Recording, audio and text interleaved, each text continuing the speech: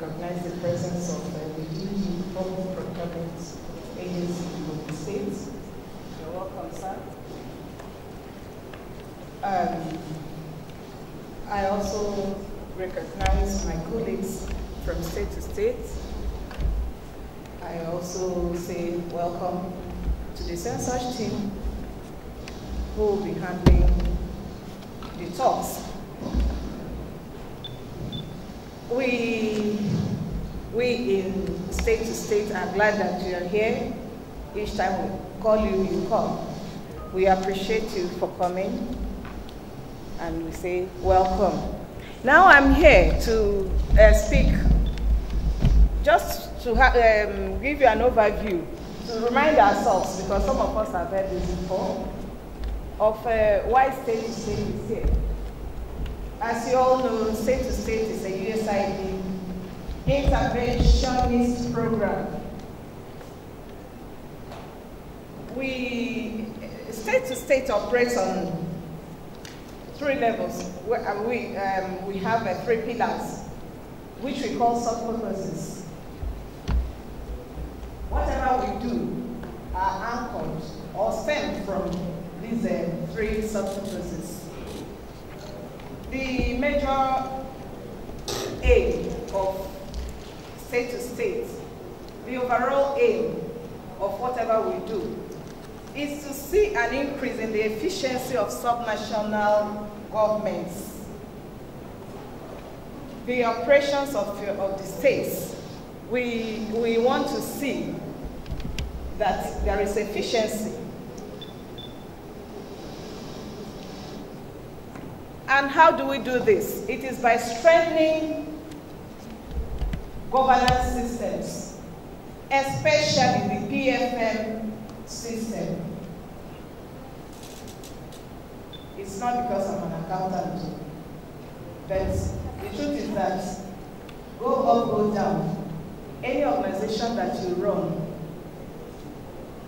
so long as you use money to run it, you will need, in fact, you will need prudent financial management to be able to run it effectively. So what state to state has only just come to do is to help the states. When we say subnational government, governments, we are talking about states and local governments. So it is to help, in this instance, Gombe State to strengthen its public financial management system, the procurement system, to be efficient in its operations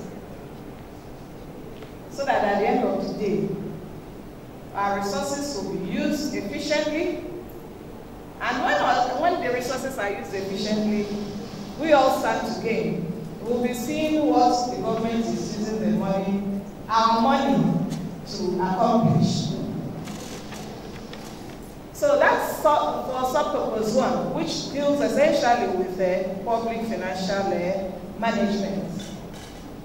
The second one is um, sub-purpose two, which aims to see that government, subnational government, responds to the needs of the citizens and their priorities. How do we do that?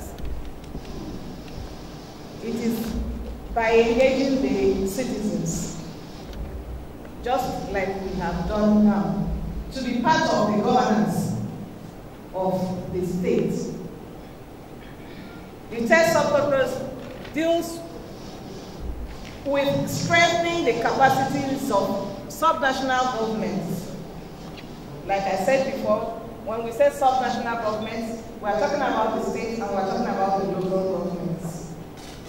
Under sub-purpose three, we aim to strengthen the capacities of subnational governments to be able to manage conflicts.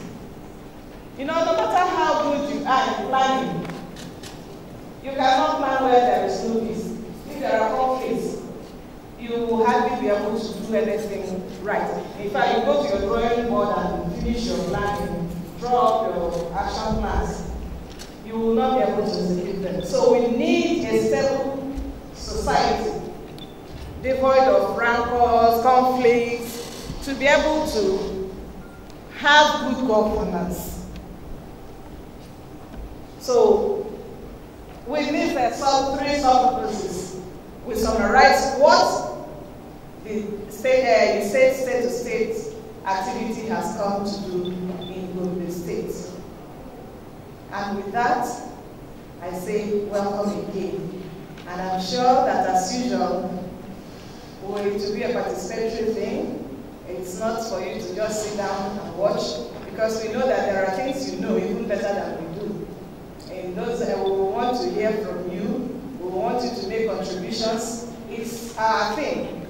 It's not us teaching you, it's us interacting and exchanging ideas to see how we can bring about efficiency in the operations of governance in the state. Thank you very much and welcome.